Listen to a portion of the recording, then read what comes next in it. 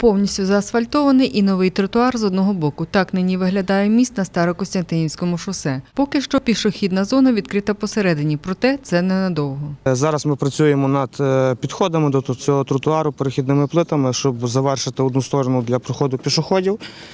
І паралельно перекидуємось на роботу е, бетонування з другої сторони тротуару. Головний інженер проекту Євген Ступник запевняє, проїжджа частина мосту готова на 70%. Але тут ще є е, роботи, які потребують ремонту е, самого, самих конструкцій, опор, конструкцій прогонових будов, тому що вони за весь час експлуатації не ремонтувалися і вже прийшли ну, в стан такий вже негожий. Будівельники сподіваються потішити автомобілістів і за кілька тижнів відкрити проїжджу частину. Головне кажуть, аби не завадила погода. Не буду обраховуватися датою, висловлюватися. Ну, я думаю, що в графік ми впишемося і зможемо відкрити рух так, як було заплановано. Орієнтовно будемо старатися, щоб це було середина грудня, ну, плюс-мінус.